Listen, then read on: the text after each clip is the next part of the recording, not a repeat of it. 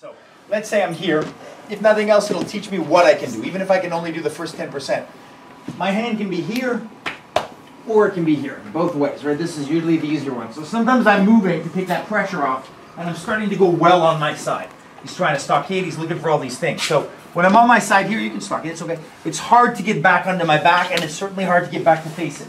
So what I'm gonna do is, see as I'm rolling over on my stomach, I'm gonna use my top leg, usually to either come back to block, or in some cases, I'm gonna hook, and I'm gonna look to roll, roll onto my belly here.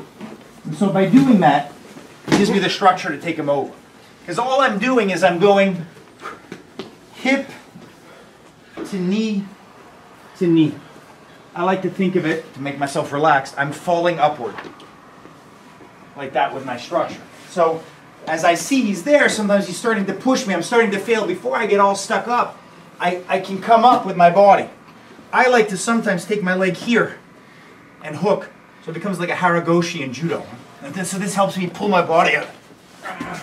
I can keep his leg. I know it hurts everyone. Not for me, mind you. So I'd like to be facing him. He's keeping me on my back. And now what's worse is I'm going there. Some of you like the pendulum. You start to work here. And in this position, my knee's on the ground.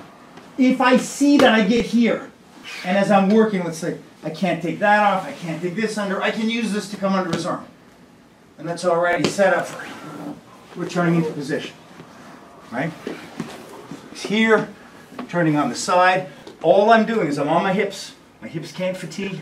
And I'm going to my knee, and then to my knee. And as I do that, whoosh, I walk up. And I go that make sense? Yeah. I'm generally, when I'm going on my head like we did yesterday, using my forearm as much as I can. I couldn't lift him physically. If I use a smaller person, you'll see I don't use more force. I don't want to say, oh, I can lift you, therefore I will. If I'm, if I'm being turned, I go on my hip, on my knees. It should be the same structure. If you start using power just because you can, it's a bad habit. Then when it's not going to work, you're going to try because you think, think it's going to work. You try, it hits a wall. And that's where you get stuck in dominant. Does that make sense? Yep.